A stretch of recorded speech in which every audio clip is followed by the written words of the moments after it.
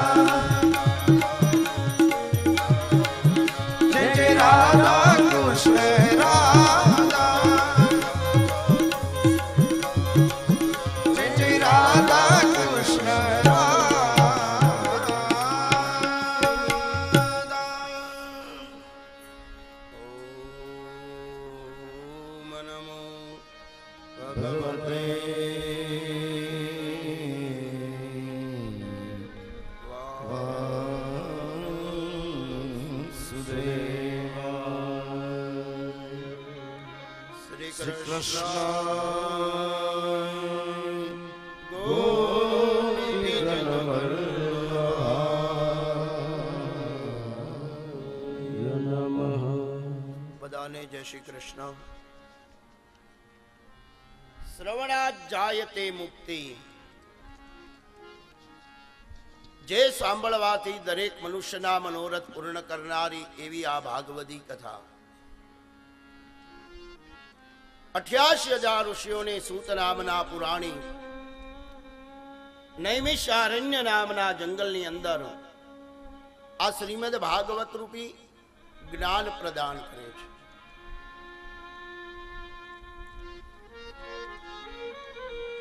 ભગવાને ભીષ્મને પોતાનામાં સ્થાપિત કર્યા. અહીંયા સમય વ્યતીત થતા ઉતરાને ત્યાં દીકરાનો જન્મ થયો. ધર્મરાજાએ ઋષિમુનિઓને બોલાવી અને પૂછ્યું કે, મહારાજ, આ દીકરાનું નામ શું રાખવું? એટલે કહ્યું કે આના બે નામ થશે. પેલું નામ એનું વિષ્ણુ રાત કારણ કે બ્રહ્માસ્ત્ર મૂક્યું હતું ભગવાને ગર્ભની અંદર એનું રક્ષણ કર્યું. એટલે વિષ્ણુથી રક્ષાયેલો એવો. એટલે પેલું નામ એનું વિષ્ણુ રાત અને બીજું નામ જન્મની સાથે ચારે બાજુ એ જોવા મળ્યા હતા. સ્વયંસેવકો, અવાજ નહીં કરો. ઈશારાથી વાત કરો, અવાજ નહીં કરો. બોલવાનો નહીં જીબાન બોલવા માટે મને બોલાવ્યો છે. અને એક આપણે નક્કી કરી દઈ સવારના સાડા આઠથી સાડા અગિયાર, બાર વાગ્યા સુધી મારે બોલવાનું. અને બપોરે પછી ત્રણથી, બારથી ત્રણ સુધી તમારે બોલવાનું. સાડા ત્રણ સુધી. અને સાડા ત્રણથી પાછું સાડા છ સુધી મારે બોલવાનું. અને સાડા છથી બીજે દી હવારના સાડા આઠ. તમારા વારામાં હું બોલવાની આવું મારા વારામાં તમારે નહીં.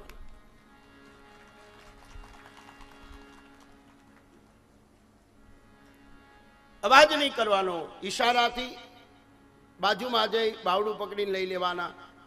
એક બાજુ એવો અવાજ ન થવો જોઈએ.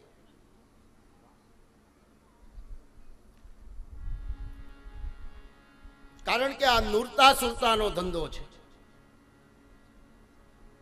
સુરતા જો તૂટી જાય તો ત્યારે કહ્યું,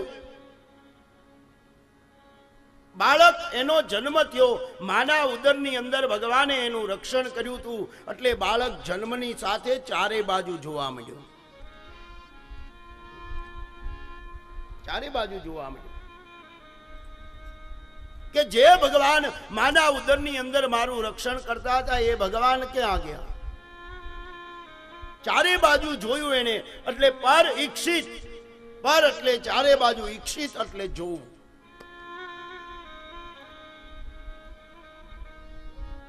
પરીક્ષિત એવું નામ એનું થયું. પરીક્ષિત મોટા થવા મળ્યા એમાં એક વખત અર્જુન ભગવાનની ખબર કાઢવા માટે ગયા. એટલે ભગવાને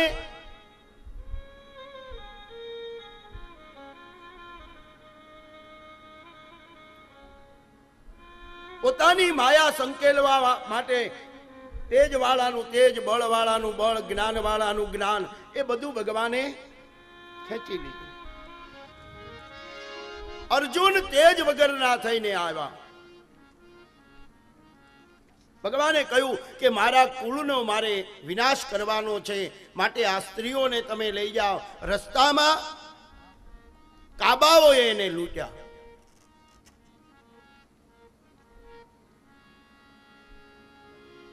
કારણ કે કહ્યું છે ને કે સમય સમય બલવાન હૈ અને નહીં પુરુષ બલવાન.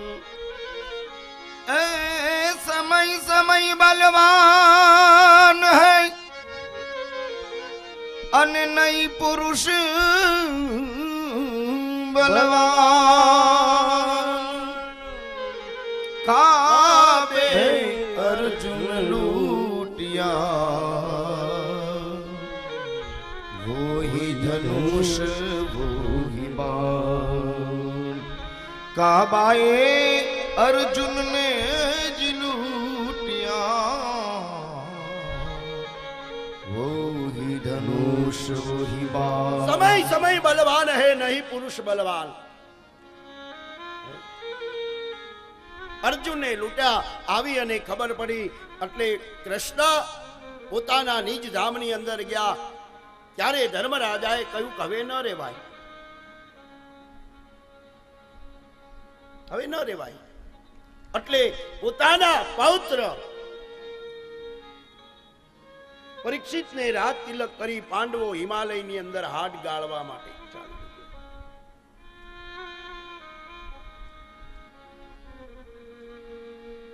સ્વર્ગારોહણ સુધી ફક્ત એક ધર્મ જ પહોંચ્યા છે.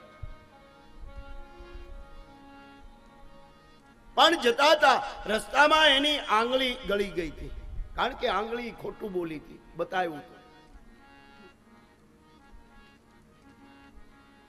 પછી ઉત્તરની કન્યા ઈરાવતીની સાથે એના લગ્ન કર્યા. પરીક્ષિત રાજા દિગ્વિજય કર્યો અને એની અંદર એક વખત દિગ્વિજય કરી અને ફરતા હતા. એમાં એવું બન્યું કે એક કોઈ કાળો પુરુષ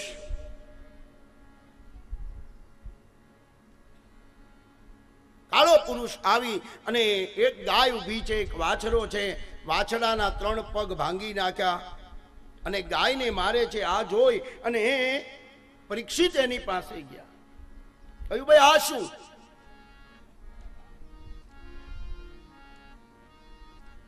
એટલે કહ્યું કે, હું કળિયુગ છું.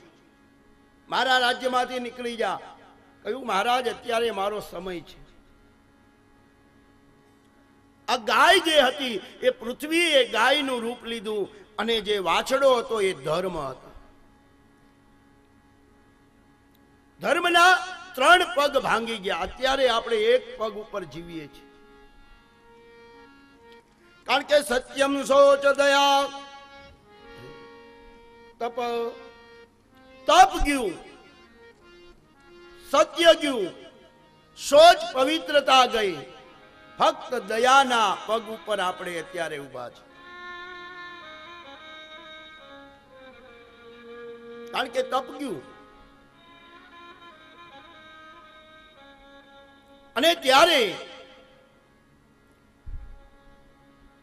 કહ્યું કે તું બહાર નીકળ. એને કહ્યું, મહારાજ, મારામાં અવગુણ ઘણા છે, પણ બે ગુણ મારામાં સારા છે. બે ગુણ સારા છે. ક્યાં બે ગુણ? બતાવ. કહ્યું કે કળિયુગની અંદર એક ગણું દાન અને સહસ્ત્ર ગણું પુણ્ય. અને બીજો મારામાં એ ગુણ છે કે કોઈ પણ મનુષ્ય સાડા ત્રણ દિવસ સુધી ચિત્ત અને વૃત્તિ એક કરીને બેસી જાય, ભગવાન એને દર્શન આપે. ઋષિ મુનિએ તો એમ કીધું કે આટલું બધું સાડો ત્રણ દિવસ નહીં, પણ એક ગાયની ખરી, અરે ગાયની સિંગડી એની ઉપર રાયનો દાણો જેટલી વાર ટકે, એટલી વખત જો ચિત્ત અને વૃત્તિ એક કરી દે, ભગવાનના દર્શન થઈ જાય. પણ મન ચંચળ છે. કયું મારા રાજ્યમાં તારા ગુણ સારા છે. પણ હું કહું ત્યાં તારે રહેવાનું. કહ્યું, મારે ક્યાં રહેવું? સૂર્ય ઉગે ત્યાંથી અસ્ત થાય ત્યાં સુધી આપનું રાજ. ત્યારે કહ્યું કે, હું જે સ્થાન બતાવું, ત્યાં તારે રહેવાનું. કયું સ્થાન? કયું દ્યુતંબાન સ્ત્રી સુનામ યત્ર ધર્મા ચતુર્વિદા દ્યુત જ્યાં જુગાર રમાતો હોય ત્યાં તારે રહેવું. પાન, મદ્યપાન થતું હોય ત્યાં તારે રહેવું. કુલટા સ્ત્રી હોય ત્યાં તારે રહેવું અને અધર્મ હોય ત્યાં તારે રહેવું. કયું મહારાજ, મારો પરિવાર બહુ મોટો છે અને આટલામાં અમે રહી શકીએ નહીં. કારણ કે અધર્મ એને મૃષા નામની પત્ની. મૃષા એટલે ખોટું બોલવું. અધર્મ આવે ને એટલે પહેલું આવે ખોટું બોલવાનું. પછી કે મારે ઘણા દીકરાઓ છે, છ દીકરા, કામ, ક્રોધ, મદ, મોહ, લોભ, મત્સર, ઈર્ષા. ઈર્ષા એ દીકરી છે. જમાયું છે એના બાળકો. મારો પરિવાર બહુ મોટો છે. બહુ ભાગવતમાં મોટો પરિવાર બતાવ્યો. કારણ કે બ્રહ્માએ જ્યારે સૃષ્ટિની રચના કરી, ત્યારે એના પીઠમાંથી અધર્મને ઉત્પન્ન કર્યો છે.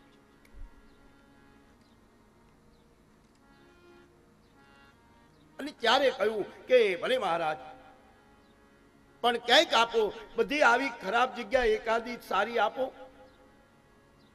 તો પુનયાચયામાન જારૂપ પદાયત તનોનૂનમ મદ કામમ રજમ વૈરમ ચપં પંચમમ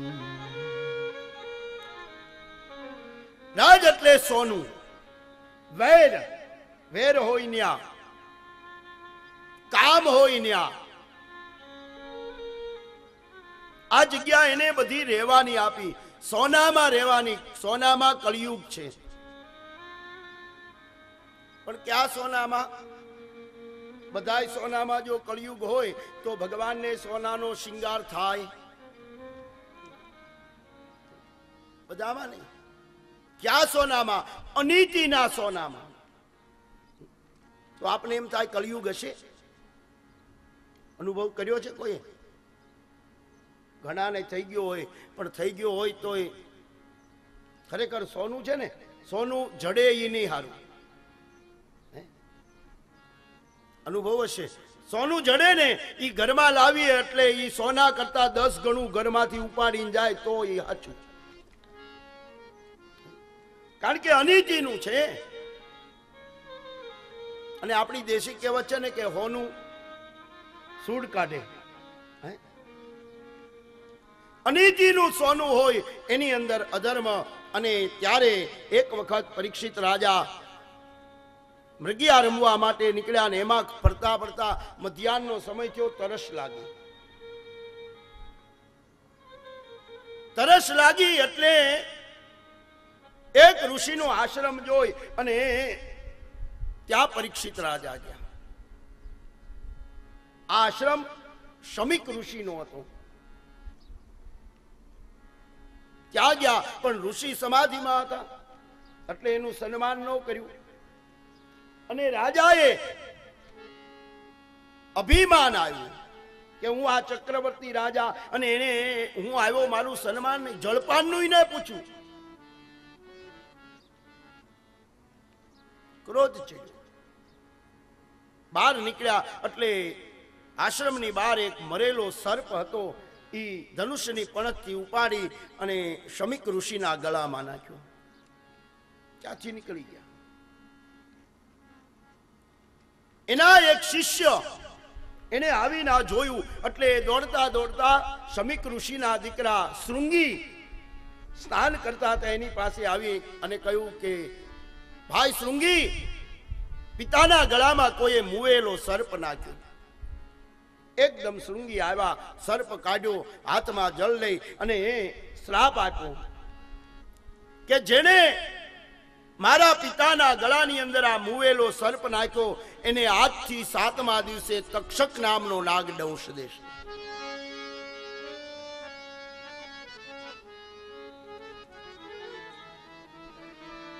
એકદમ ઋષિ જાગી ગયા સમાધિમાંથી હા હા, બેટા, હા. જોઈ લો, આ સૂચવે છે કે સંતાનોની ઉપર માત પિતાએ નજર રાખવી જોઈએ. કોને શ્રાપ આપ્યો? કહ્યું કે, પિતાજી, તમારા ગળાની અંદર કોઈએ મુવેલો સર્પ નાખ્યો એટલે મારાથી બેટા જોયા જાણ્યા વગર કોઈને શ્રાપ અપાય નહીં. કોણ હતું ખબર છે? નહીં. સમાધિ લગાવી જોયું. ઓહો, આ તો પાંડવ વંશનો પરીક્ષિત રાજા અને અજાણતા એનાથી આ કર્મ થઈ ગયું. એનો આટલો બધો દંડ ન દેવાય. જા, એને તું જાગ્રત કરી આય. પરીક્ષિત રાજા ઘેર આવ્યા, આવી અને મુગટ નીચે એને ઉતાર્યો. સોનાનો હતો, અનિતિનો મુગટ હતો. કેમ અનિતિનો હતો? એ દસમ સ્કંદ ઉત્તરાર્ધમાં કથા આવશે. ત્યારે હું કહીશ. મુગટ નીચે મૂક્યો એટલે બુદ્ધિમાં પરિવર્તન આવ્યું. પરિવર્તન આવ્યું એટલે એને કહ્યું, કહો, મારાથી ઋષિની સેવા મારે કરવી જોઈએ અને એની જગ્યાએ મેં આવું અધમ કર્મ કર્યું. પ્રભુ, આનો દંડ, આની શિક્ષા મને મળવી જોઈએ. જોઈ લો આ ભક્ત. આનો દંડ મને મળવો અને ત્યાં ઋષિ આવ્યા આવ્યા એટલે એનું પાદ અર્ઘ્યથી પૂજા કરી, સિંહાસને બેસાડી, બેસી ગયા. મહારાજ, કેમ પધાર્યા? કહ્યું કે મેં તને શ્રાપ આપ્યો છે. શા માટે, મહારાજ? મારા પિતાના ગળામાં તે મુવેલો સર્પ નાખ્યો એટલે બહુ દયા કરી, બહુ મારા ઉપર તમે કૃપા કરી. નહીતર આ ઋષિનું ઋણ મારી ઉપર રહી જાત. બહુ દયા તમે કરી. જોઈ લો. આવ્યું ભલે? આજથી શું શ્રાપ છે કે આજથી સાતમા દિવસે તને તક્ષક નામનો નાગ ડંશ દેશે. કારણ કે પરીક્ષિત રાજાને જે દી અવળું રે સૂજ્યું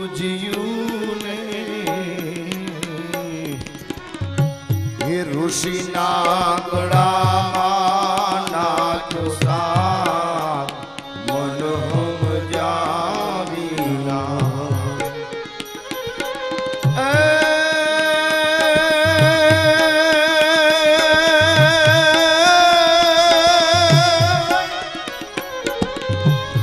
પરીક્ષિત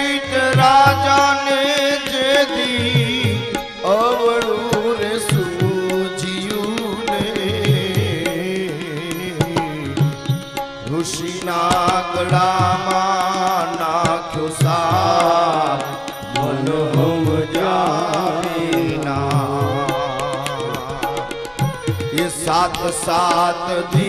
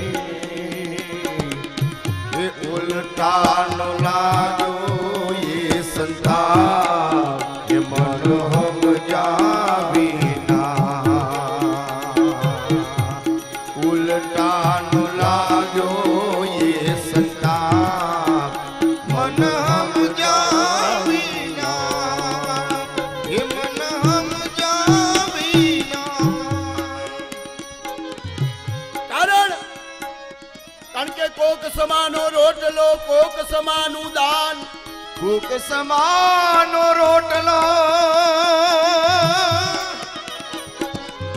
અને કોક સમાનું દાન દાન દાન. કોક સમાની કદવા ભય કર્યા એ કોક સમાની કદવા યુદ્ધ ઉલટાનું લાગ્યો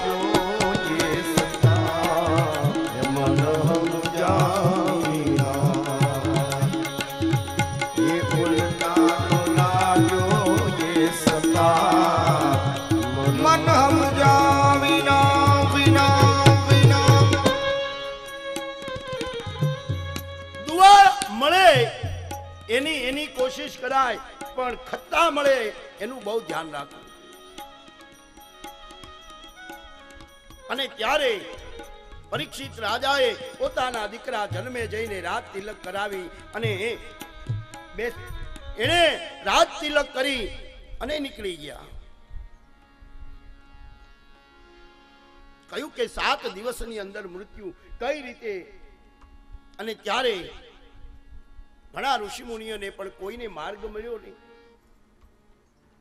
કહ્યું કે હાલ ગંગાની અંદર, ગંગાના પટમાં જાઓ, એનું આચમન કરું, ક્યાંક મારું કલ્યાણ થઈ જાય. શુક્રતાલ, અત્યારે જે શુક્રતાલ છે, ત્યાં કથા થઈ છે.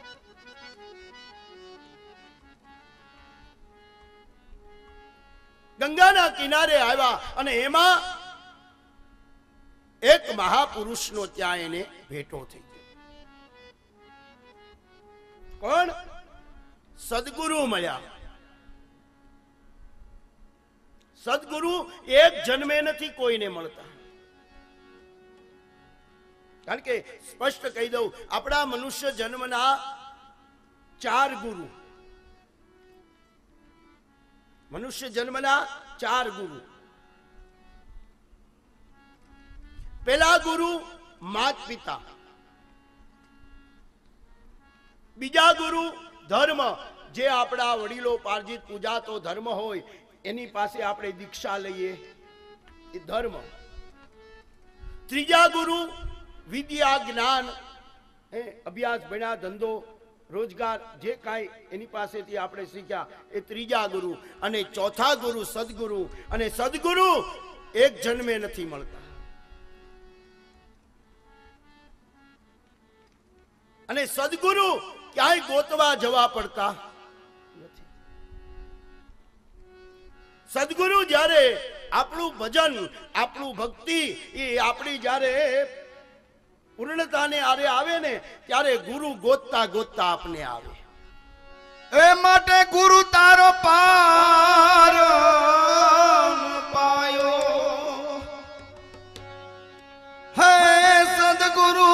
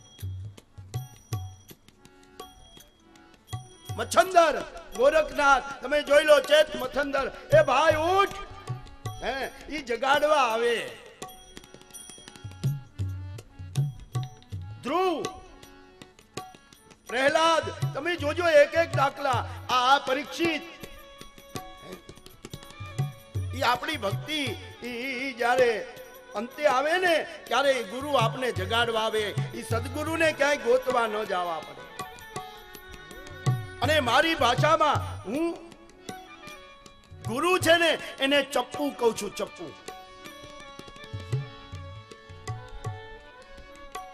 ગુરુને હું ચપ્પુ કહું છું આ મારો મત કેમ ચપ્પુ આપણે હોડકાની અંદર બેઠા હોય વાહનની અંદર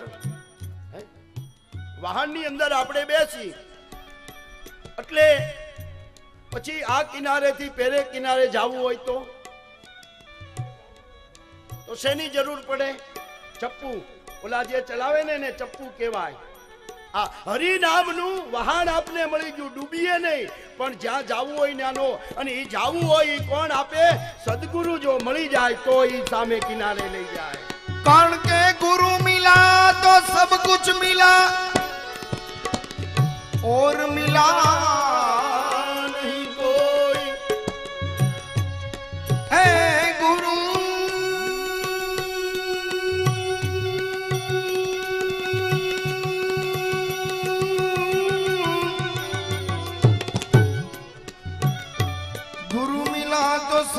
मिला और मिला नहीं कोई क्योंकि सूत दारा और लक्ष्मी वो तो पापी के घर में भी हो सुतदारा और लक्ष्मी है लक्ष्मी वो तो घरो घर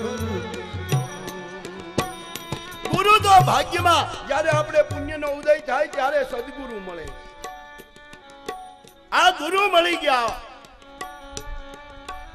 પરીક્ષિત રાજાને ત્યારે કોણ સુખદેવજી અને મળ્યા ત્યારે એની કેટલી ઉંમર હતી ભાગવતમાં બતાવ્યું છે. કે તુમ વી અષ્ટ વર્ષ સુકુમાર પાદવ અકોલહંસ કોલગાત્રમ ત્વમ દ્વિ અષ્ટ વર્ષ સુકુમારમ. દ્વિ એટલે બે આઠ. આઠ ને સોળ. સોળ વર્ષની ઉંમર હતી. સુકુમાર.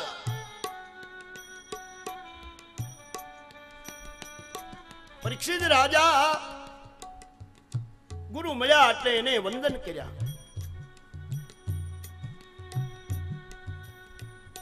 અને ત્યારે પરીક્ષિત રાજા એ મળ્યા એટલે તરત જ એને એમ થયું કે પાત્ર મળ્યું. પાત્ર મળ્યું. કહ્યું કેમ મહારાજ? કેમ? ગુરુને પરિક્રમા કરી હાથ જોડીને ઊભા રહ્યા મહારાજ મને શ્રાપ છે. કે સાતમે દિવસે મને તક્ષક નાગ દંશ દેશે અને મારું મૃત્યુ છે. આ મૃત્યુને સુધારવું હોય તો શું કરીએ? તો મૃત્યુ સુધરે. શું કીધું ભાઈ તે? કેટલા દિવસે? સાત દિવસે. આપણે પણ આ કથા ઉપરથી જોવાનું આપણે પણ પરીક્ષિત છીએ. કારણ કે આપણો જન્મ થયો ને, આપણે પણ માના ઉદરમાંથી જન્મ લઈ ચારે બાજુ પર ઈક્ષિત ચારે બાજુ જોવું. અને આપણું બધાનું પણ સાત જ દિવસમાં છે. કોઈનું સોમ, કોઈનું મંગળ, કોઈનું બુધ, કોઈનું ગુરુ, કોઈનું શુક્ર, કોઈનું શનિ કોઈનું રવિ. આથી બાર છે અને આમાંથી ક્યારે નીકળી જાય આપને કોઈને ખબર છે? આપણે પણ પરીક્ષિત છીએ. અને ત્યારે કહ્યું કે સાત દિવસ સાત દિવસમાં મૃત્યુ. ઓહો, ઘણો સમય છે. મૃત્યુ સુધારવા માટે તો બહુ જાજો સમય છે તારી પાસે. અરે મહારાજ, સાત દિવસ. કહ્યું, હા. સાંભળ, હું તને વાત કરું. પૂર્વે સૂર્યવંશનો એક ખટવાંગ નામનો રાજા. ખટવાંગ, એના દીર્ઘબાહુ, દીર્ઘબાહુના રઘુ રઘુના અજ, અજના દશરથ, દશરથના રામ, ઈ ખટવાંગ. આ ખટવાંગને એક મુહૂર્તનું હે. એક મુહૂર્ત આયુષ્ય હતું એક મુહૂર્તમાં જો ઈ પ્રભુને પામી ગયો તારી પાસે તો સાત દિવસ છે. ત્યારે કહ્યું કે મહારાજ મને જ્ઞાન આપો. પાત્ર જોઈ અને ઈ પરીક્ષિત રાજાને પૂછવું નથી પડ્યું. સુખદેવજી સામે જ કહેવા માંડ્યા કે શ્રી શુકવાચ વર્યાનશતે મે પ્રશ્ન કૃતો લોકહિતો નૃપ આત્મવિત સંમતમ પુંસા શ્રોતવ્યાદિષુ યઃ પર હે રાજા તું પ્રશ્ન કર અને મને વિશ્વાસ છે કે તારો પ્રશ્ન કેવો હશે કે લોકહિતો જગતના કલ્યાણ માટે તારો પ્રશ્ન હશે માટે બોલ શું ઈચ્છા છે? કહ્યું કે મહારાજ આમાંથી મુક્તિ પ્રાપ્ત કરવી હોય તો શું કરવું? ત્યારે કહ્યું કે પહેલા જીતાસન જીત શ્વાસ જીતેન્દ્રિય. પહેલા તો પ્રથમ જીત આસન. આસન ને જીત. આસનને જીતવું પડે. આસનના ત્રણ પ્રકાર. ત્રણ પ્રકાર. ઉત્તમ મધ્યમ અને કનિષ્ઠ. ઉત્તમ આસન ઉત્તમ આસન પલોઠી વાળી અને બેસી એ ઉત્તમ આસન પછી મધ્યમ. પગ ઉપર પગ ચડાવીને બેસી એટલે મધ્યમ. અને કનિષ્ઠ. મન પાવે એમ લાંબા ટૂંકા આડાવડા ગમે એમ પગ કરીને બેસીએ ને કનિષ્ઠ. હા, એમાં એક એક મગજમાં લેજો કે કોઈ અવસ્થાવાળા હોય, કોઈ તકલીફ હોય એ માણસ ગમે તેમ બેસે, એને દોષ નથી. પણ ટાણે ટાણે ત્રણ ત્રણ રોટલા ધબી હે, ઉપાડી જતો હોય. અને એ લાંબા ટાટિયા કરીને બેસે. અને આસનનો નિયમ છે, કોની આગળ કેમ બેસાય? આસનનો નિયમ છે. કોઈ પૂજ્ય હોય, કોઈ મહાપુરુષ હોય, ગુરુ હોય, એની સામે ક્યારે પગ ઉપર પગ ચડાવીને ન બેસાય. દોષ લાગે. ક્યારે પગ ઉપર પગ ચડાવીને ન બેસાય. આસનની મર્યાદા હોય. અહીંયા તો ભાગવત. આજ નહીં, ગમે ત્યારે જોઈ લેજો. આ ભાગવતની સન્મુખ હું અહીં બેઠો છું. મારો પગે એને ન દેખાવો જોઈએ. દોષ લાગે. જો આમે તમે ગમે એ બાજુથી જોઈ લેજો. ગમે ત્યારે આઠ દિવસમાં જોઈ લેજો ને. એની મેન્ડ છે.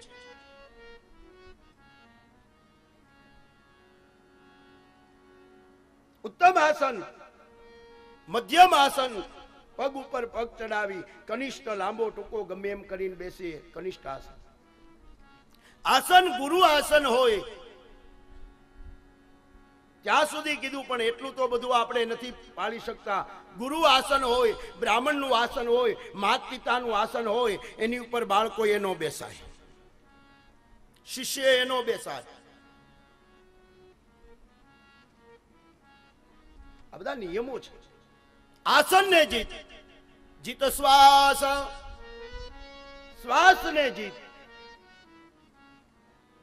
જીતેન્દ્રિય ઇન્દ્રિયોને જીત. કહ્યું મહારાજ, આ તો બધું અઘરું છે. આ કાંઈ હું તો રાજમાં પાણી માગી દૂધ આવે. નોકર, ચાકર, દાસ, દાસીઓ, એમાંથી આ તો કહ્યું કે વિરાસન.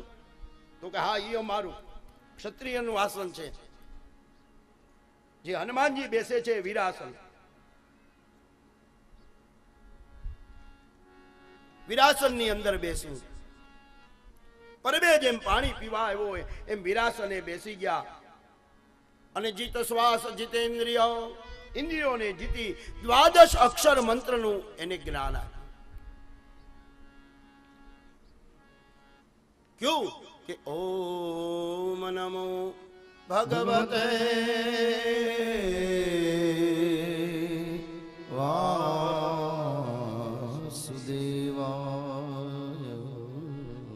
દ્વાદશ અક્ષર મંત્રનું જ્ઞાન આપ્યું. અને પછી વિરાટ દર્શન કરાવ્યું કે ભગવાનનું તત્વ દર્શન. કે ભગવાન એના સાત કેળથી ઉપરનો ભાગ, એ સાત લોક છે, કેળથી નીચેનો ભાગ, સાત પાતાળ છે. અતલ, વિતલ, સુતલ, તલાતલ, રસાતલ મહાતલ જંગાતલ અને પાતાલ. કેળથી નીચેનો ભાગ, કેળથી ઉપરનો ભાગ, ભૂરલોક, ભુવનલોક, સ્વરલોક મહલલોક જનલોક, તપલોક અને સત્યલોક.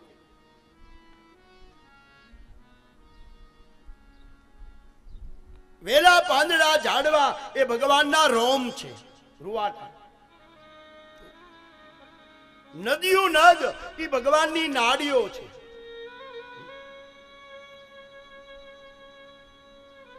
પર્વતો એ ભગવાનના અસ્થિ છે, હાડકા. વિરાટનું દર્શન કરી કે બ્રાહ્મણોસ્ય મુખમાં સિદ્ધ બાહો રાજન્ય. રતઃ ઉ તદસ્ય જદવૈશ્યઃ તદભાગુશુદ્રો અજાયત બ્રાહ્મણોસ્ય મુખમાં. બ્રાહ્મણ છે એ ભગવાનનું મુખ છે. અને એની ઉત્પત્તિ મુખમાં એટલે બ્રહ્મ ભોજન કરાવાય છે.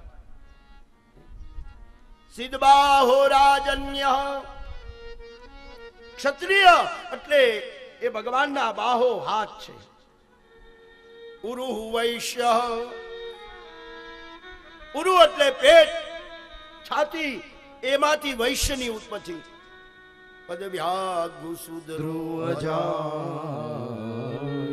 પગના તળિયામાંથી શુદ્રની ઉત્પત્તિ છે. આ કથા આપને સૂચવે છે કે કોઈ પણ જ્ઞાતિનું અપમાન કરવાની નહીં. કારણ કે બ્રાહ્મણનું અપમાન કરો એટલે પ્રભુના મુખનું અપમાન છે. ક્ષત્રિયનું અપમાન કરો એટલે પ્રભુના શ્રી હસ્તનું અપમાન છે. વૈશ્યનું અપમાન કરો એટલે ઉરુ ભગવાનની છાતી પેટનું અપમાન છે, શુદ્રનું અપમાન કરો એટલે ભગવાનના શ્રી ચરણનું અપમાન છે. કોઈનું અપમાન કોઈથી નથી થઈ શકતું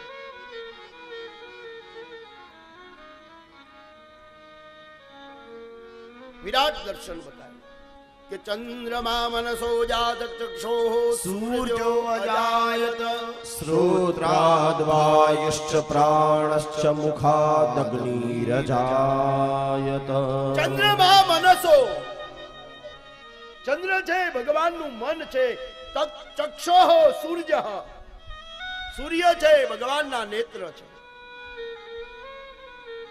વાયુ એ ભગવાનના કર્ણ છે કાન। આવું ભગવાન વિરાટનું દર્શન બતાવ્યું છે. બ્રહ્માના સૃષ્ટિની ઉત્પત્તિની કથા કહી કે પ્રભુએ સૃષ્ટિની ઉત્પત્તિ કરવા માટે ભગવાને તપ કર્યું ભગવાન સુતાતા ક્ષીર સાગરની અંદર શેષૈયામાં કયું સૃષ્ટિને ઉત્પન્ન એટલે એને યાદ કર્યા કોણ? પરાંબા સદ સદાત્મક નામની શક્તિ આવી અને ઊભા રહ્યા. હાથ જોડીને કહ્યું, પ્રભુ, કેમ મને યાદ કરી? કહ્યું કે તમે સહકાર આપો, સૃષ્ટિ રચવી છે ભલે. ત્યારે ભગવાને સૃષ્ટિ રચવા માટે નાભીની અંદરથી કમલને ઉત્પન્ન કર્યું, હજારો પાકડ્યું ત્યારે પ્રભુએ આ પંચભૂતનો દેહ બનાવ્યો અને શક્તિએ એમાં શક્તિ પૂરી.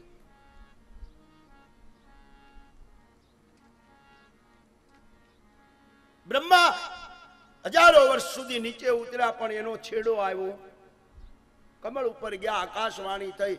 કમળમાંથી બિંદુ જળના પીડા જળમાં ટપ ટપ ટપ એવો અવાજ આવ્યો. આદેશ થયો તપ કરવાનો. એટલે તપ કર્યું. પ્રભુએ પ્રસન્ન થઈ અને કહ્યું કે, હે બ્રહ્મા, સૃષ્ટિની રચના કરો. ત્યારે બ્રહ્માએ સૃષ્ટિની રચના કરી. પ્રથમ ચાર માનસ કુમારોને ઉત્પન્ન કર્યા. સનત સનંદન સનકાદિક સનત કુમાર. પછી ઋષિમુનિઓ વિશ્વામિત્ર, જમદગ્નિ, ભરદ્વાજ ગૌતમત્રી વશિષ્ઠ. હાથમાંથી ક્રતુ છાયામાંથી કરદમ. પગના અંગૂઠાની અંદરથી દક્ષ. ઉત્સંગાત નારદો ખોળાની અંદરથી નારદની ઉત્પત્તિ કરી. આંખમાંથી અત્રી, ભ્રગુટીની અંદરથી ભ્રગુ. ઋષિઓને ઉત્પન્ન કર્યા. પછી બ્રહ્માએ વિચાર કર્યો, એકલો કેટલાકને ઉત્પન્ન કરી શકું? પછી બ્રહ્માએ પોતાના જમણા અંગની અંદરથી એક પુરુષ અને ડાબા અંગની અંદરથી એક સ્ત્રીને ઉત્પન્ન કરી જે મનુ અને સતરૂપા અને ત્યારે આજ્ઞા પ્રભુની આજ્ઞાથી એણે દેહાદિક સૃષ્ટિની સ્થાપના કરી. દેહથી સ્ત્રી અને પુરુષથી સંતતિની ઉત્પત્તિ.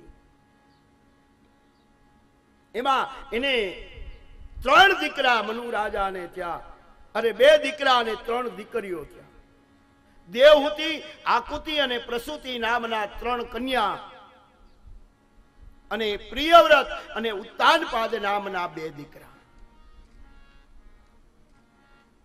આખી સૃષ્ટિની કથા. પછી ચાર પ્રકારની સૃષ્ટિ રચી. સ્વેદજ, અંડજ, ઉદ્ભી અને ઔરસ.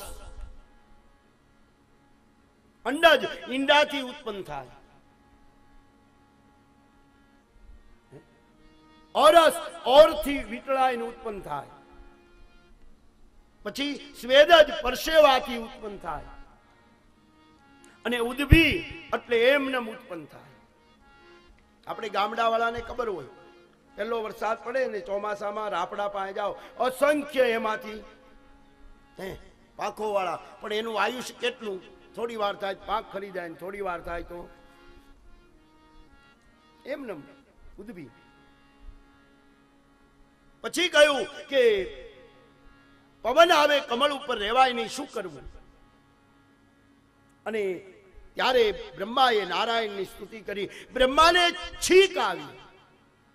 જમણા નસકોરાની અંદરથી ભગવાને એક અંગૂઠા જેવડો વારાહ અવતાર ધારણ કર્યો. બોલો વારાહ ભગવાન પૃથ્વીને પોતાની દાઢ ઉપર પાતાળમાંથી લાવ્યા રસ્તામાં હિરણાક્ષ નામના અસુરને હેલ્યો આ કથા બધી સપ્તમ સ્કંદમાં આવશે. અને ત્યાર પછી પૃથ્વીની અંદર મનુ રહેવા મળ્યા અને ત્યારે મનુ રાજાએ બ્રહ્માને કહ્યું કે, મહારાજ એ પિતા, મારી આ દીકરીઓ મારે કોને આપવી? ત્યારે કહ્યું કે, દેવહૂતિ કરદમ નામના ઋષિને આપો. દેવહૂતિ કરદમ નામના ઋષિને આપો. કહ્યું, મહારાજ એ હા પાડશે કે હા? જાઓ. બ્રહ્માએ કરદમને કહ્યું, કારણ કે આ ઋષિ ગળા સુધી કાદવમાં બેસી અને તપ કરતા. એટલે એનું નામ કરદમ પડ્યું. બાકી એ કાદવને સંસ્કૃતમાં કરદપ કહેવાય. કરદમ ઋષિ તપ કરતા હતા. આકાશવાણી પ્રભુએ કહ્યું કે, હે બ્રહ્માએ કહ્યું કે, હે કરદમ, બોલો પિતા. મનુ, એની દીકરી આપવા આવશે. માટે એની દીકરીની સાથે તું લગ્ન કર.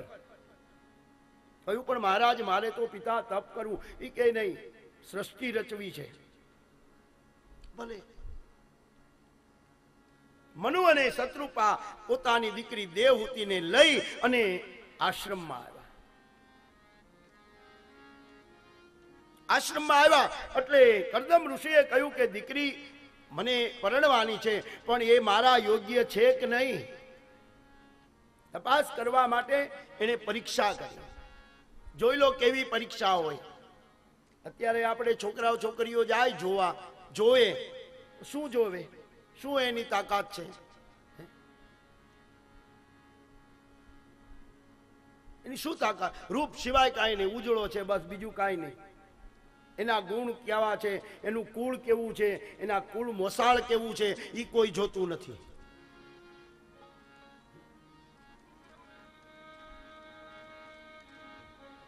જોઈ લો, પરીક્ષા કરે, કેવી પરીક્ષા? કે મને પરણવાની છે? મારા યોગ્ય છે કે નહીં? એટલે ઋષિએ ત્રણ આસન નાખ્યા. કરદમ ઋષિ. મનુ આવ્યા, એટલે મનુએ ઋષિનું પૂજન કર્યું. પણ ઋષિ પોતાના આશ્રમમાં, એટલે મનુનું સ્વાગત કર્યું.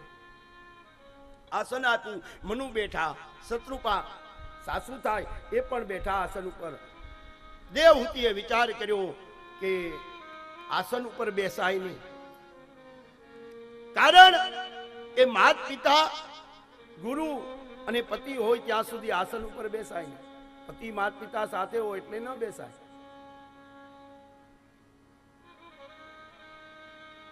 આ પહેલાના જમાનાની વાત છે અત્યારની અત્યારનું મગજમાં નહીં લેતા. અત્યારે તો બાપ, મા બાપ છે એઠા બેઠા હોય છોકરાઓ શેટીએ ચડીને બેઠા હોય.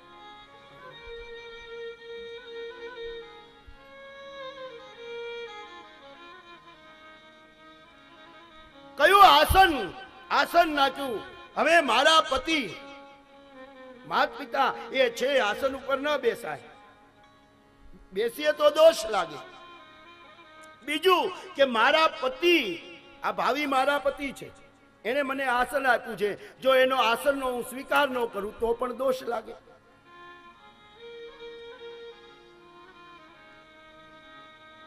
તો શું કરવું? બે બાજુ દોષ છે. પણ જ્ઞાની હોય ને એને તરત જ જમણો હાથ આસન ઉપર મૂકી અને નીચે બેસી ગયા અને એને સામે દ્રષ્ટિ કરી કે, મહારાજ, બોલો હવે. આસનનો સ્વીકાર કર્યો એટલે અપમાન ન કર્યું અને માત પિતા પતિ બેઠા હતા એટલે આસન ઉપર ન બેઠા એટલે મર્યાદાનું પાલન કર્યું. અને એમાંય જમણો હાથ મૂક્યો. આમાંય રહસ્ય છે. જમણો હાથ મૂક્યો, એટલે એને ઋષિ ખડખડાટ હસવા મળ્યા ધન્ય હો, દેવી, ધન્ય હો. કારણ કે પુરુષનું ડાબુ અંગ એની પત્નીનું સ્વરૂપ કહેવાય છે. અને સ્ત્રીનું જમણું અંગ એ એના પતિનું સ્વરૂપ કહેવાય છે. એટલે જમણો હાથ મૂક્યો. નાથ છતાં હું નથી બેઠી, તમારા સ્વરૂપનો ભાગ ઈ મૂક્યો છે. એટલે ઋષિ અચા પરીક્ષા બધી આ. તોય ઋષિ કે હજી બરોબર નહીં, હજી બીજો ટકોરો મારવો. બીજો ટકોરો મારવા એને કહ્યું કે, આ તો પિતાજીની આજ્ઞા એટલે હું લગ્ન કરું, પણ મારી એક શરત. બોલો. કે એક દીકરો થશે, સંતાન થશે, એટલે એ સંતાનને છોડી હું મારું કર્મ જે છે તપ કરવાનું, તપ કરવા જતો રહીશ. સંતાનનું જતન તમારે કરવું પડશે. બોલો, મંજૂર છે?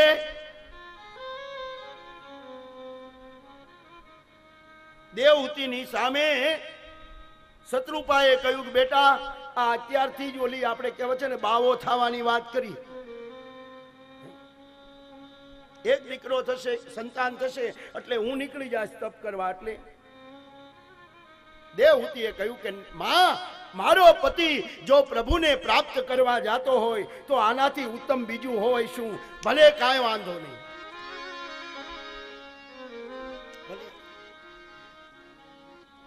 લગ્ન કરી કહ્યું કે દાયજામાં કાંઈ નહીં, કરિયાવરમાં કાંઈ નહીં. અને હે દેવી, બીજી એક વાત કરી દઉં. તમે રાજમાંથી આવો છો, નોકર ચાકર અહીંયા પર્ણકુટીમાં ટાઈમે મળે, ન મળે? કહ્યું, નાથ, એની મને અપેક્ષા નથી, મને તો બસ આપની સેવામાં જ રસ છે.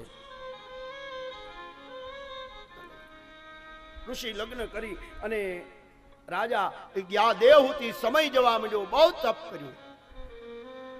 તપ કરવાથી ભગવાન એના ઉપર પ્રસન્ન થયા. અને ઋષિએ પોતાની પત્નીની સેવા જોઈ અને ઋષિ પ્રસન્ન થયા, ધન્ય હો દેવી, ધન્ય હો.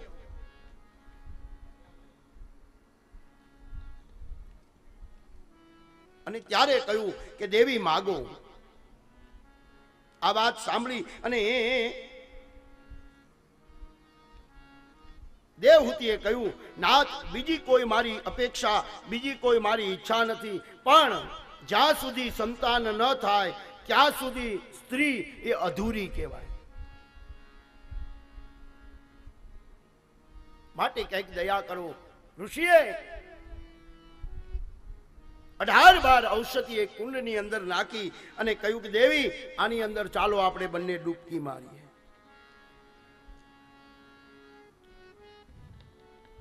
બંને ડૂબકી મારી અને જે વૃદ્ધત્વ જેવું શરીર થઈ ગયું હતું, તપ કરીને એ સુંદર સ્વરૂપ થઈ ગયું, યુવાની આવી ગઈ. એને યુવાની આવી, એટલે યુવાની આવી, એટલે પોતાના યોગના તપથી એક વિમાન એને મગાવ્યું.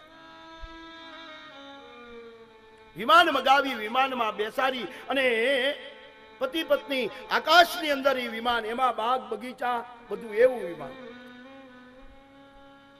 કેટલો ટાઈમ આકાશમાં વિમાન ફર્યું. ભાગવતમાં બતાવ્યું છે કે એ વિમાનની અંદર કરદમ અને દેવહૂતિને નવ દીકરીઓના જન્મ થયા. ત્યાં સુધી આકાશમાં ફર્યું નીચે વિમાન ઉતાર્યું.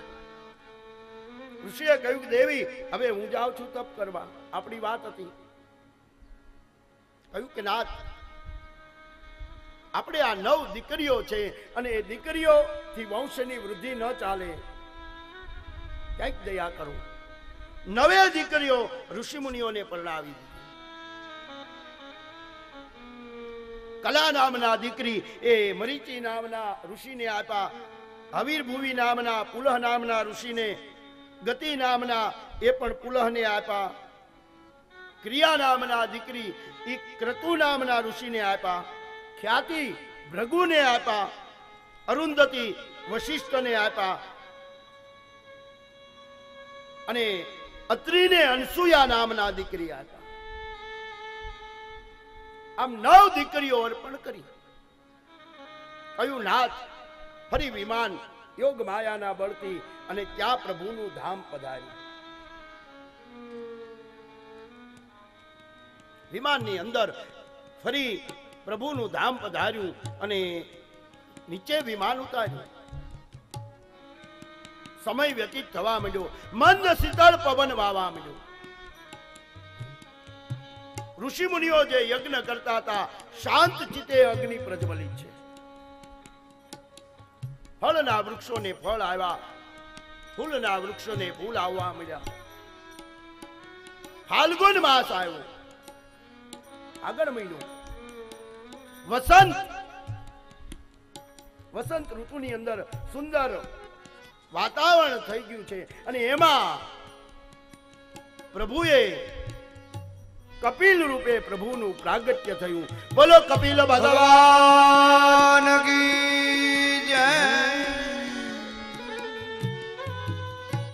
કપિલ ભગવાનનું પ્રાગટ્ય થયું. કપિલ ભગવાનનું પ્રાગટ્ય થયું. એટલે ઋષિએ કહ્યું કે દેવી હું જાઉં છું. કહ્યું નાથ એક મારી વિનંતી સાંભળો.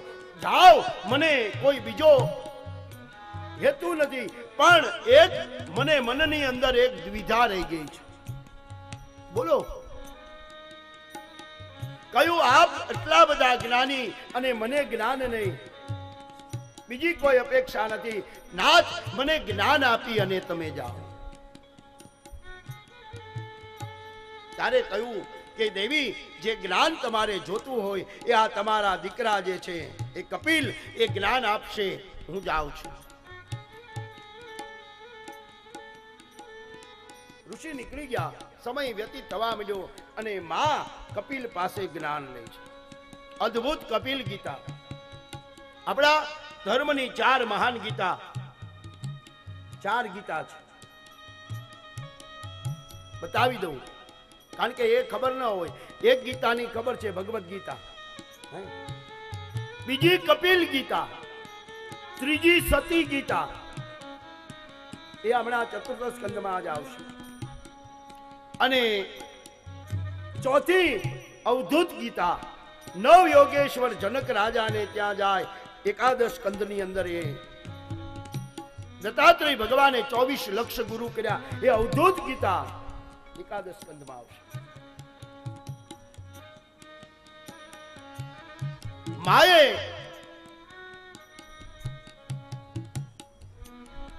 ઋષિ ગયા એટલે માએ એના દીકરાને,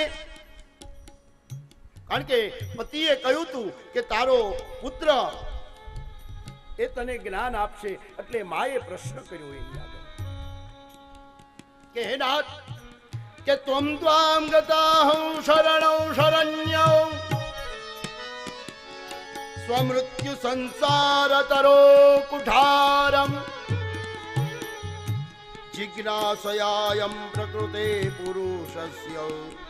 नमामि सिद्धिर्भविता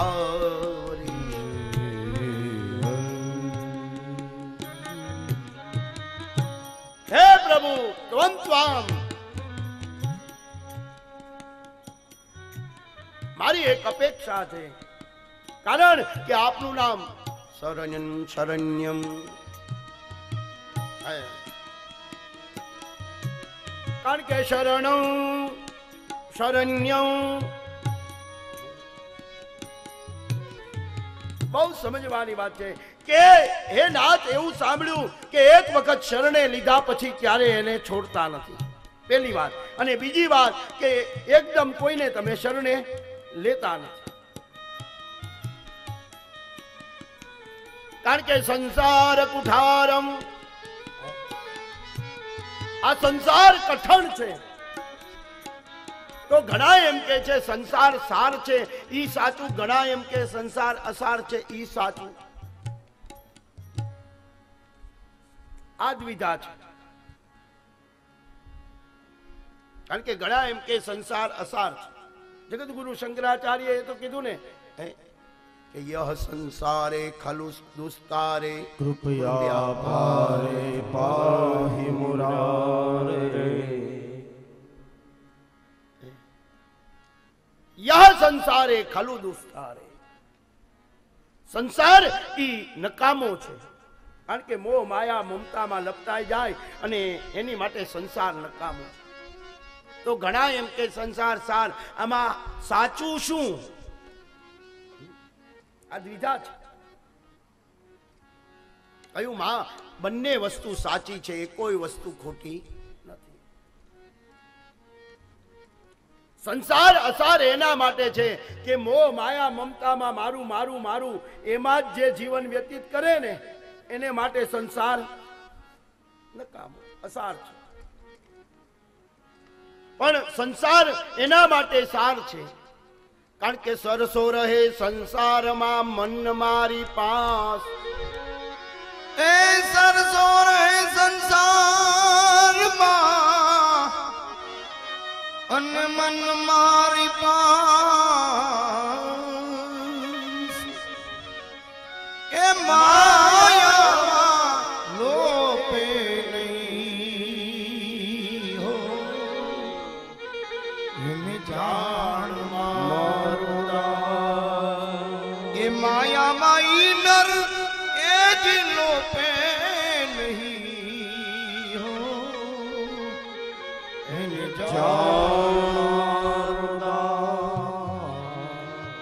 સંસાર એને માટે સાર છે. કયો કે સરસો રહે સંસારમાં મન મારી પાસે. માયાવી કર્મ કર. એ ફરજ કહેવાય. મા બાપની સેવા કરવી ફરજ. એ કર. પરિણો છો. પત્નીનું જતન કરવું, બાળકોનું જતન કરવું, એને વરાવા, પરણાવા. ધંધે ચડાવે કર. પણ કઈ રીતે? જળ કમળવત કારણ કે કમળમાંથી કમળની ઉત્પત્તિ જળમાંથી છે પાણીમાંથી. પણ એ કમળની પાખડી ઉપર એક પાણીનું બિંદુ મૂકજો ટાપ દે નીચે એ નહીં સંગ્રહે. નહીં સંગ્રહે. તો જળ કમળવત સંસારમાં રે પણ પણ તારું મનડું મારી પા ચિત્ત અને વૃત્તિ એ મારા મારા અને એને માટે સંસાર સાર છે. અને ખરેખર મારો તો મત છે. મારો આ અનુભવ, હું મારો અનુભવ કહું. હોય એકાદા જૂજ હશે કે ત્યાગીઓને જેટલા ભગવાન નથી મળ્યા, એટલા સંસારીને મળ્યા છે. ત્યાગીઓને નથી મળ્યા. આપણે આપણી આ નજીક નજીકમાં તમે જુઓ, નજીક નજીકમાં.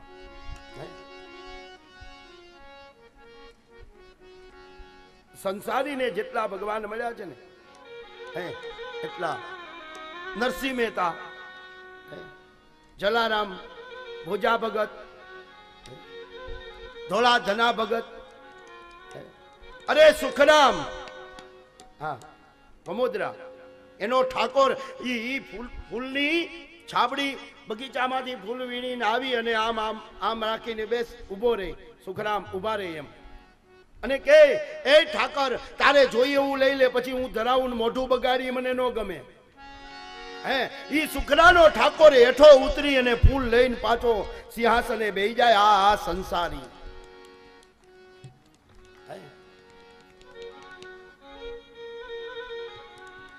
સંસારીને જેટલા ભગવાન મળે ને, એટલા ત્યાગીને હશે કોઈ જૂજ.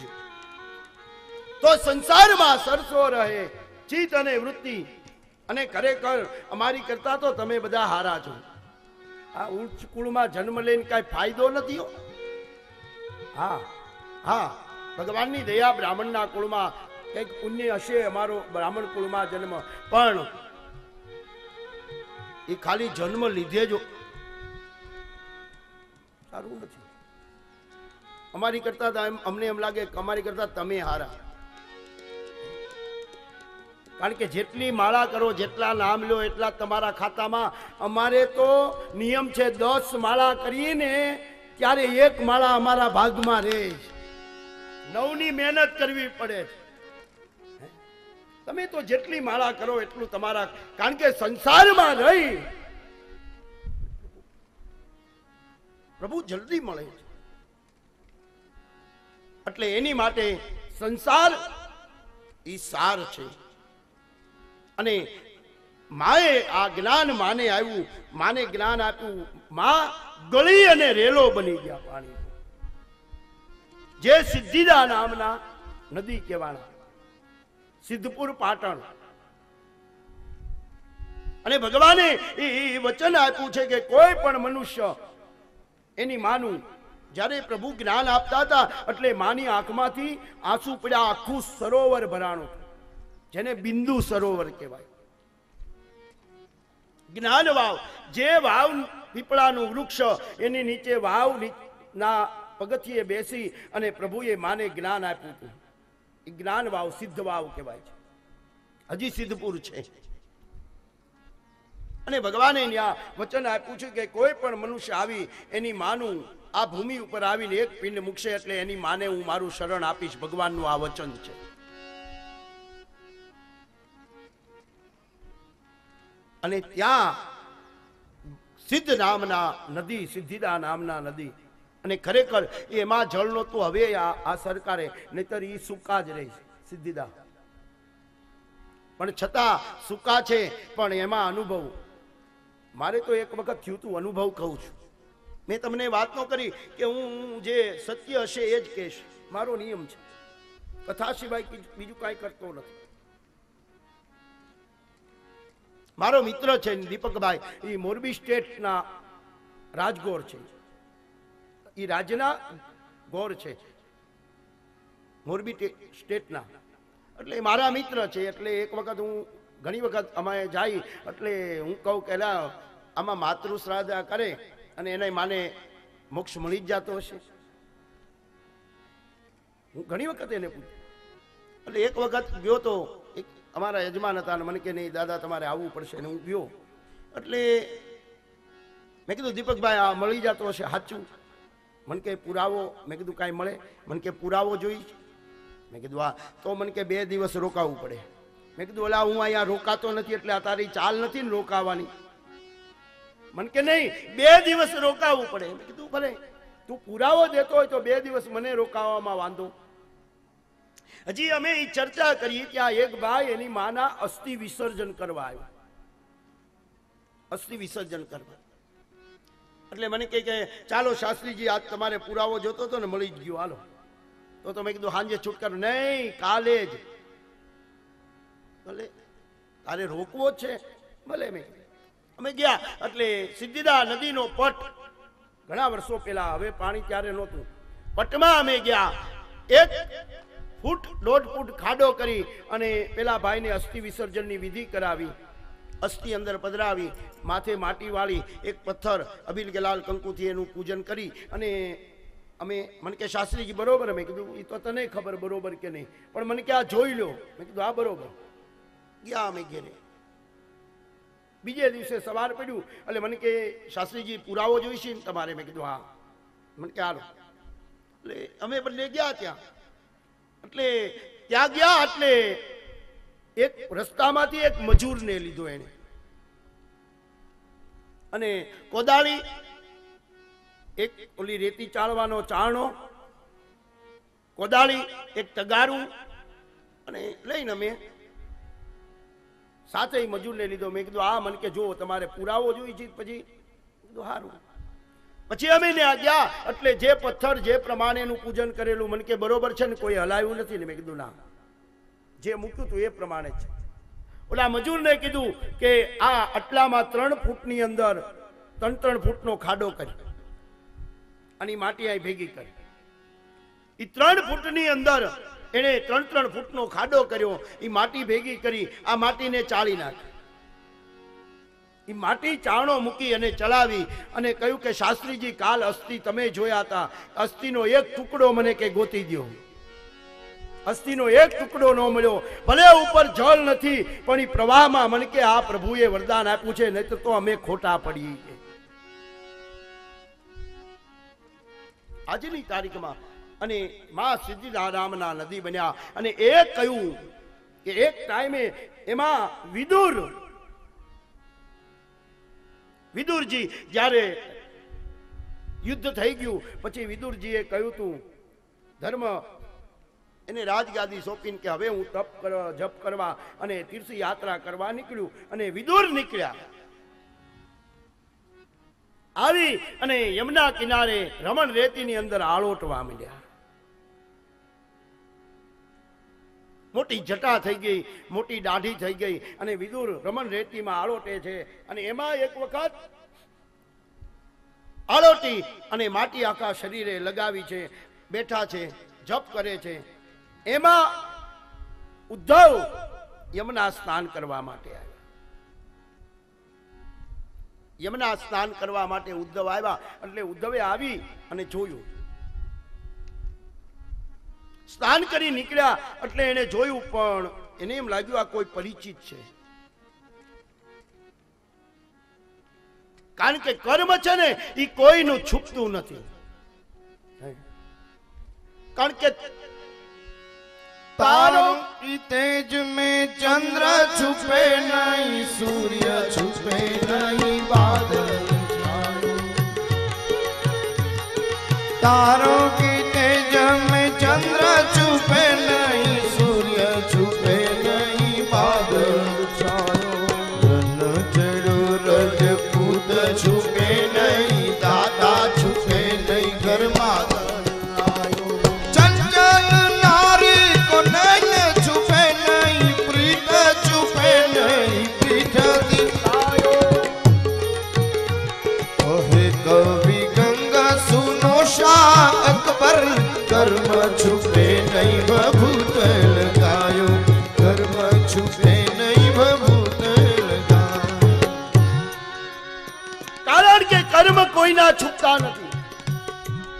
ગમે એટલી ભભૂત લગાવે, એ ગમે એવો બની જાય, પણ એની જાતિ છૂટતી નથી. કારણ કે માણસ કો બોલ એક, તોલ એક બોલ મેં પીછાણી. માણસ કો તોલ એક બોલ મેં પીછાણી. એ બોલે ને ક્યાં ખબર પડી જાય કે આ આ જ્ઞાતિનો જ હોવો જોઈએ. ન જાય? ત્યારે કર્મ ગમે એટલી ભભૂત કરે ગમે એટલા પીલા ટપકા પણ કર્મ નો રન ચડો રાજપૂત છુપે નહીં દાતા છુપે નહીં ઘર માગન આયો. ચંચલ નારી કો નૈના છુપે નહીં પ્રીત છુપે નહીં પીઠ બતાયો. કવિ ગંગ કહે આપણે આ જરૂર એક છે અત્યારે કર્મ. હા. એ લઈએ. બાકી આખું વિસ્તાર કરવા જાય તો બહુ લાંબુ લાંબુ થઈ જાય. કર્મ કોઈનું છૂપતું નથી. ત્યારે કહ્યું કર્મ છૂપતું નથી. એને એમ થયું ગમે ગમે તે હોય આ છે. એકદમ એની પાસે જાય છે. અને ત્યાં વિદુરે આંખ ખોલી. ઉદ્ધવને આવતા જોઈ અને વિદુર અને ઉદ્ધવ બંને ભેગા થયા. અને જ્યારે ભગવત ભક્ત ભેગા થાય, કેવી સ્થિતિ થાય એ બતાવ્યું.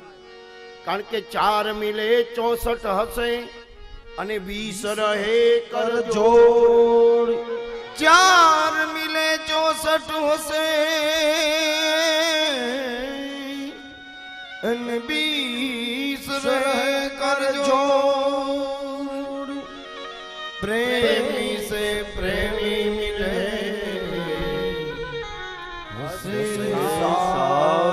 કરો. પ્રેમી સે પ્રેમી એ નર જો મિલે. સાત કરો ચાર મિલે ચોસઠ હશે. ચાર બે હાથ પોતાની બે સામે વાળાની ચાર મિલે ચોસઠ હશે બત્રીસ દાંત પોતાના બત્રીસ સામે વાળાના અને બી સરહે કરજોર દસ આંગળી પોતાની દસ સામે વાળાની પણ પ્રેમી સે પ્રેમી મિલે. સાત કરોડ. સાડા ત્રણ કરોડ રૂમાડા પોતાના સાડા ત્રણ કરોડ રૂમાડા સામેવાળાના સાત કરોડ રૂમાડા પુલકિત બની જાય. કારણ કે જ્ઞાની છે જ્ઞાની મિલે જ્ઞાન કી લૂટા લૂટ. ज्ञानी से ज्ञानी मिले और ज्ञान की लूटा लूट पण ज्ञानी से અજ્ઞાની મિલે તો બડી માથા કો ज्ञानी से अज्ञानी मिले तो बड़ी માથા કો જ્ઞાની થી જ્ઞાની મળે ને જ્ઞાનની ચર્ચા હોય પણ જ્ઞાની ને અજ્ઞાની ભેગો થઈ ગયો હોય ને, ઘણી વખત અમારે તો એવા અનુભવ થતા હોય. પછી અમે કહે હા ભાઈ, તું કઈ હાચું? તું મોટો જા. અમારે મોટું નથી જોયું ખબર પડતી ન હોય. કયું? બંને મળ્યા, એકબીજાને મળ્યા, બંને ભેટી પડ્યા. અને ત્યારે વિદુરે કહ્યું કે, હે ઉદ્ધવ, મને જ્ઞાન આપો. એ કે એ મારું કામ નહીં. જ્ઞાન આપવું એ મારું કામ નહીં. તમારે જ્ઞાન જોતું હોય તો બદ્રિક આશ્રમની અંદર મૈત્રેય ઋષિની આશ્રમે તમે જાઓ. ત્યારે મૈત્રેયના આશ્રમે ગયા તો આશ્રમ કોને કહેવાય? એ ત્યાં ગયા કેવું એને દ્રશ્ય જોયું? મૈત્રેય ઋષિને ત્યાં કે ગૌ વ્યાઘ્રમ હમ ગાય અને વાઘ, એને વેર એક અવેડામાં પાણી પીતા જોયા. હાથી અને સિંહને એક અવેડામાં પાણી પીતા જોયા. સર્પ ઉંદર અને બિલાડી એક સાથે દૂધ પીતા જોયા. કૂતરો સર્પ બિલાડી અને ઉંદર, આ બધા વેર. એક સાથે જોયું. આશ્રમ, એટલે જ્યાં જીવ આશ્રય એનું નામ આપણો પણ ગ્રહસ્થાશ્રમ છે. આપણો પણ ગ્રહસ્થાશ્રમ છે. આશ્રમ છે? એવું લાગે તમને? હે? આપણો આશ્રમ હોય એવું લાગે છે? ભલે એમને એમ નહીં આ મનથી તમે કહો. લાગે છે? નત્ર હું બતાવી દઉં તમને કે છે એ કારણ કે આપણે ગમે ને જ્યાં હોય, આ અહીંયા અત્યારે લો નથી રાંધવાનું, નથી વાસણ ઉટકવાના, નહીં કાંઈ લેવા, નહીં દેવા. એ ટાઈમે ટાઈમે બે ટાઈમ સવારમાં નાસ્તો ને બપોરે, હે, ફૂલ ભાણું. એ સાંજે ચકાચક છે ને કાંઈ છે? કાંઈ તકલીફ? છતાં આપણે જ્યારે આપણે ઘેરે પહોંચ્યું ને, ત્યારે એમ થાય કે હાશ આવી ગયા. બરોબર છે ને? આપણે ઘેરે ગમે નતર હથેળીમાં બધા રાખતા હોય. છતાં આપણે ઘેરે જઈને ત્યારે હાશ. જીવ આશરે એનું નામ આશ્રમ. એને આશ્રમ કહેવાય. અને આશ્રમમાં ગયા એટલે કહ્યું કે મને જ્ઞાન આપો. કહ્યું કે જ્ઞાન પાત્ર જોવું જોઈએ. જોયું કે હા, આ તો યમરાજાનો અવતાર છે. માંડવ ઋષિનો શ્રાપ છે, માટે એને જ્ઞાન અપાય. કારણ કે જોવું પડે, જ્ઞાન એમને ન અપાય. કારણ કે કુપાત્રની આગળ એ વસ્તુ નવાવીએ